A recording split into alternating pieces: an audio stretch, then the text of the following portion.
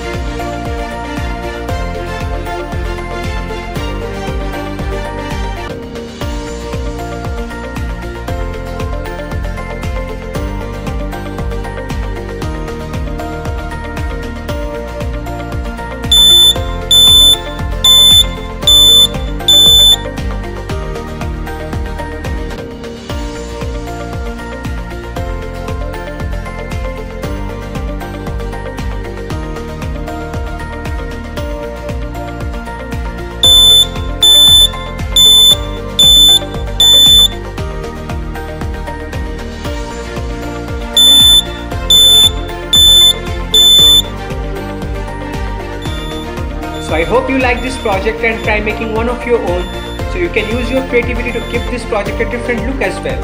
And yes, don't forget to share your projects with us. Till then, keep learning and keep having fun.